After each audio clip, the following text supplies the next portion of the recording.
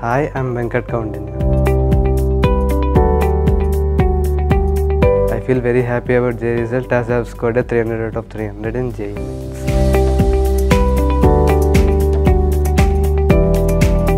Read for as long as possible, stay focused and motivated, spend more time on weak topics.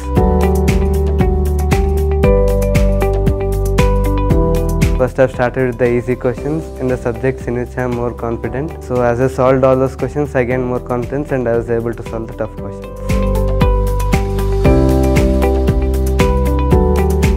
Stay motivated about JEE mains and advanced, enjoy the subject. That's it.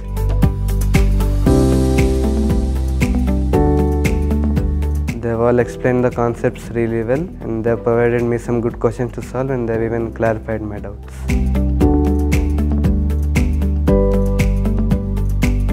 Whenever they found time, they always motivated me. They always ma- made sure that I never get disappointed or something whenever I had a failure. So they were they mainly supported me emotionally.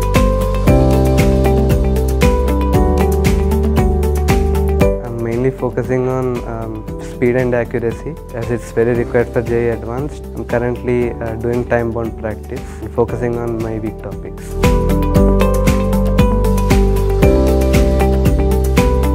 Get disappointed if you come across any uh, difficult one. As you practice more and more, they'll gradually become easy.